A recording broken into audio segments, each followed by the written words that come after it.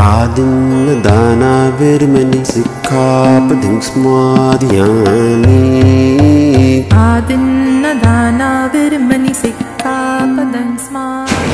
धम्मपद गाथा कथा नंबर पिछहत्तर सेवेंटी फाइव। ये गाथा और गाथा बहुत अच्छी है और बाल बग्गो की अंतिम गाथा है और अंतिम होने के बाद भी ये सबसे बेहतरीन गाथाओं में एक आती है। वनवासिक तिस्से थेर की कहानी है। वनवासिक की का मतलब है, जो वन के अंदर रहता है। इसको आज की डेट में वनवासी बोलते हैं। पुराने समय में भी इनको वनवासी की बोला करते थे। यानी जो वनवासी लोग हैं, वो जो आदिवासी लोग हैं, वो बहुत पुराने लोग हैं। तो जो वन में रहते थे, वो वनवासिक हो गए और जो पहले से रहते हैं, वो आदिवासी लोग हो गए। तो एक इससे करके एक छोटा सा बच्चा था, सात साल का। तिस्से नाम बहुत ज़्यादा मशहूर है। तिस्से का मतलब है तीन के लिए, बुद्ध के लिए, धम्म के लिए और संघ के लिए। बहुत लोगों में उस समय नाम था तिस्से। तिस्सा तिस्से। तिस्सा मतलब लड़कियों का नाम और तिस्से लड़कों का नाम। तो तिस्से नाम का एक बच्चा था। जैसे आज के समय में हम राजू नाम बहुत फ़ेमस समझते हैं या जैसे मुन्ना है या बबलू है, ये कुछ नाम ऐसे हैं जो बड़े फ़ेमस हैं और बोलते रहते हैं। वैसे उस समय तिस्से और तिस्सा नाम बहुत ज़्यादा फ़ेमस थे। तो ये सात साल का बच्चा होने में इसमें एक अद्भुत कला थी जो उस समय सारी पुत्र थे, उन्होंने पहचान लिया। सारी पुत्र तो बहुत अच्छे जानकार थे, क्योंकि भगवान बुद्ध के राइट हैंड थे तो उन्होंने देखा कि बच्चे में प्रतिभा है और बच्चे में धम सीखने की लगन है। सात साल के अंदर ही बच्चे को पवजित कर दिया। हालाँकि बच्चों को पवजित नहीं किया जाता, मगर उसमें खास बात थी। और उसको अपने साथ ले जाके धम सिखाया विपसना सिखाई। उसके बाद में वो एक जंगल में चला गया, वन में चला गया और वन में रहने लगा तो उसका नाम वनवासिक पड़ गया। वनवासिक तिस्से थेर हो गया। तीन महीने उसने लगातार बहुत ज़्यादा मेहनत की और मेहनत करने के बाद में वो अर्थ भी हो गया। तो लोग उस छोटे से बच्चे को जो चीवर में घूमता था टहता था, क्योंकि चीवर को देख के बहुत इज़्ज़त होती थी, उसके छोटे कद को देख के, क्योंकि देख के तो सोचते थे कि ये क्या जानता होगा, क्या नहीं, मगर चूँकि जिसने चीवर पहना हुआ है तो उसको कुछ ना कुछ खाने को पिंडदान जब दिया करते थे तो वो यही कहता था हमेशा, सुखी रहो, दुखों से मुक्त रहो। सुखी रहो, दुखों से मुक्त रहो। ये उसके दो सेंटेंस उसका तकिया कलाम एक तरह से बने हुए थे, कुछ भी देना, सुखी रहो और दुखों से मुक्त रहो। एक बार वत्सावास में वहाँ के जो खेती लोग थे, खेत के लोग थे, खेत का मतलब क्षेत्र के लोग थे तो जो उस खेत के लोग थे चारों, वो उन्होंने सभा की कि हमें यहाँ दम देशना करानी चाहिए और सारी पुत्र को बुलाना चाहिए। तो उन्होंने सारी पुत्र से निवेदन किया कि आप आइए और हमारे खेत में, यानी हमारे क्षेत्र में धमकी दीक्षा दीजिए धम की दीक्षा दीजिए, धम दीजिए। तो सारी पुत्र ने कहा कि आपके यहाँ तो अरहत थेर रहते हैं तिस्से थेर जो वनवासी के हैं, आप उनसे क्यों नहीं धम सीखते, धम लेते?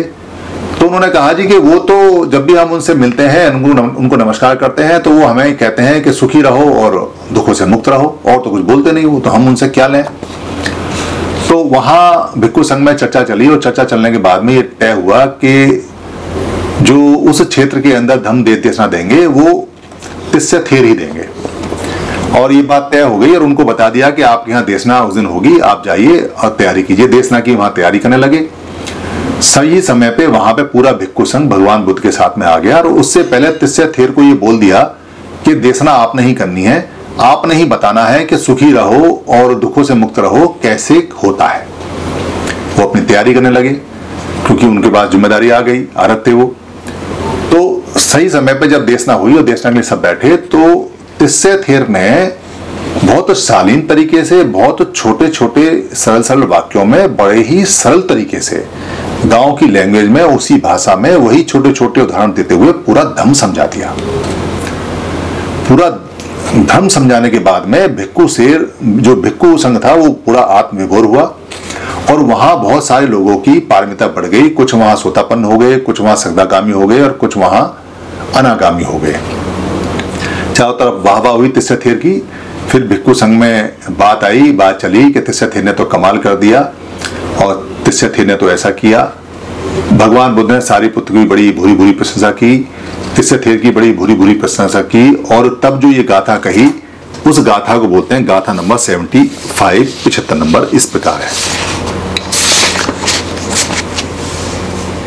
वहाँ लोग इतने ज़्यादा आत्मविभोर हुए कि उन्होंने तिस्से थेर को बहुत सारे उपहार दिए। बड़ा सारा सामान जिसके पास जो बन पड़ा, वो उसने वो तिस्से थेर को दिया।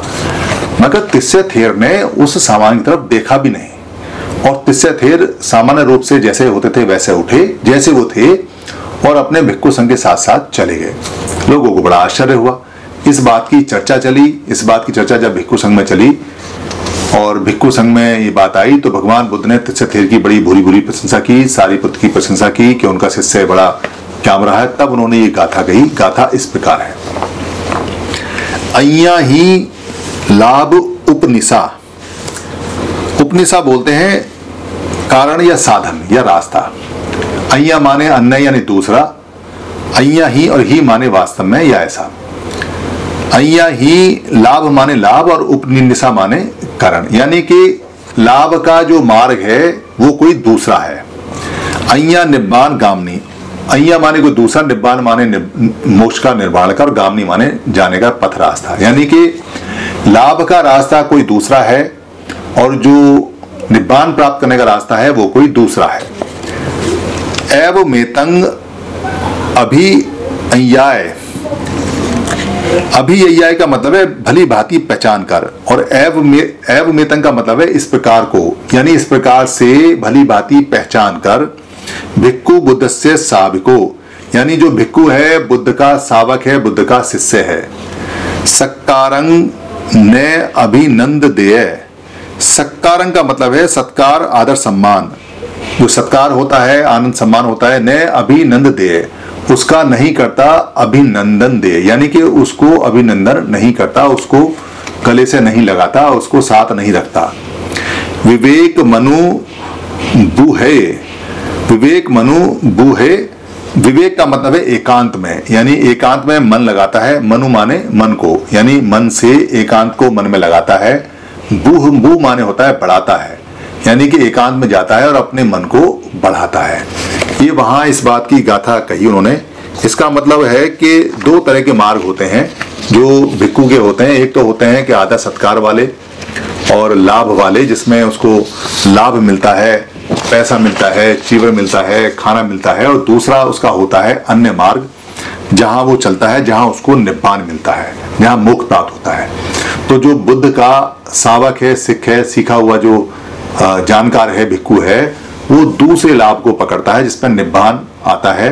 वो कोई भी अभिनंदन सम्मान को अपने गले से नहीं लगाता और वो एकांत में जाके अपने मन को कंट्रोल करना सीखता है और निब्बान को प्राप्त करता है। यह है गाथा, कथा नंबर 75 आप इसको और भी अगर सरल शब्दों में समझना चाहें तो इस प्रकार है कि जब कोई भिक्खु कहीं आता है या जाता है जो बुद्ध का सावक है और शिष्य है तो उसको बहुत सारे लोग अपनी कृतज्ञता से बड़ा मान सम्मान देते हैं, पैसा देते हैं, सामान देते हैं, मगर दो रास्ते जाते हैं वहाँ से कि या तो वो उसको ले ले सामान को और सामान का उपयोग करे और या फिर उसको छोड़े और अपने मन को ठीक ठाक करे और अपने मन को एकांत में लगा के निपान प्राप्त करे।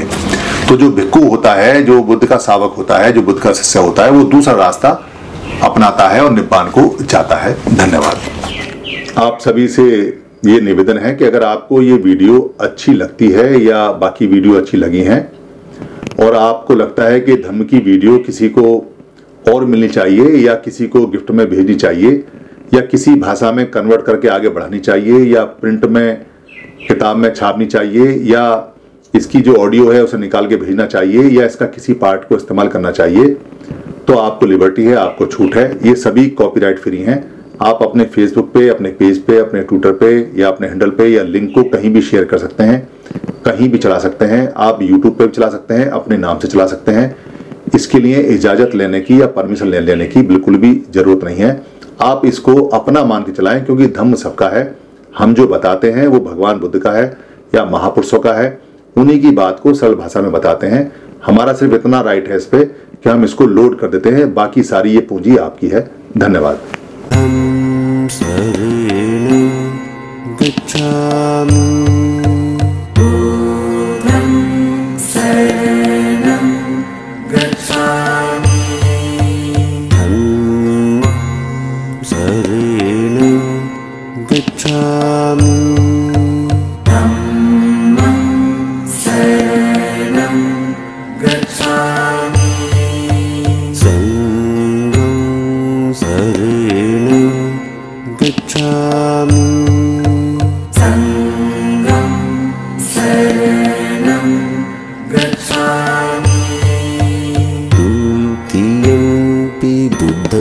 शरणं गच्छामि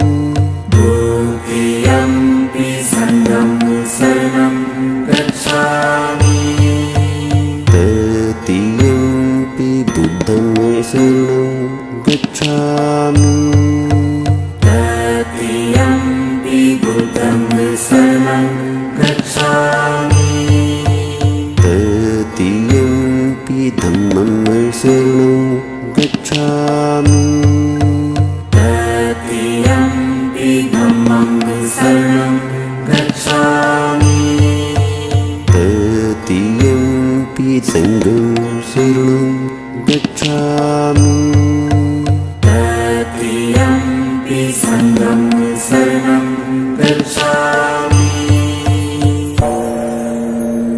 साधु साधु साधु